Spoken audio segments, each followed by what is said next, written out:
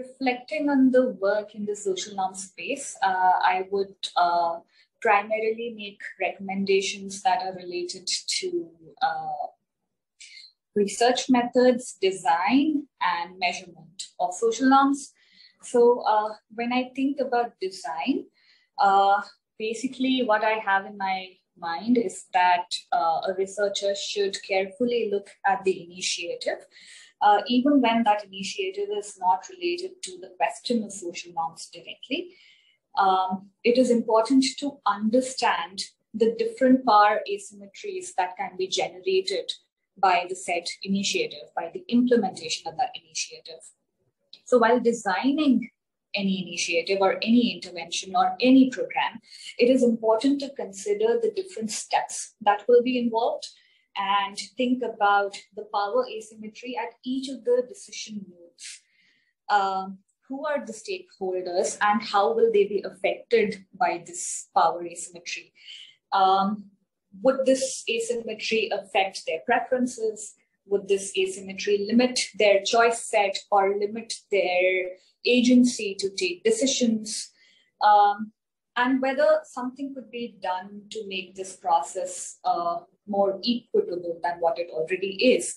Uh, or should there be added safeguards uh, for the vulnerable population?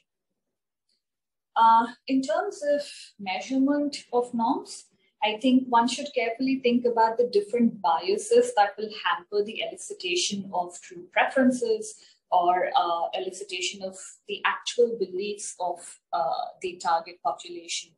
Uh, so there could be social desirability bias, there could be program bias, or there could be something called the positionality bias, where uh, the respondents may view you as outsiders and therefore may not be very comfortable uh, or truthful in sharing uh, their beliefs with you.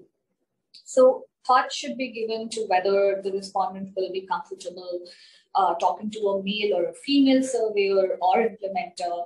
Uh, thought should be given to how the cultural impediments will inhibit our understanding of uh, the norms or our interpretation of the existing norms. So, as an example, what uh, we may consider as dowry can be considered as a part of ritual or marriage custom for the target community. Therefore, strategies or languages that are culturally more cohesive uh, should be adopted uh, finally, uh, with respect to research methods, it is important to understand if they are unintentionally leaving certain uh, populations out of the program. Um, further, I think it would be good to use a mix of both quantitative methods and qualitative methods and understand which method will do what uh, for the objective at hand. Uh, instead of you know just restricting to one or the other i think that never uh, works uh, so one should constantly be engaging with the methodological toolkit at one's disposal and constantly you know we should try to expand that Thank you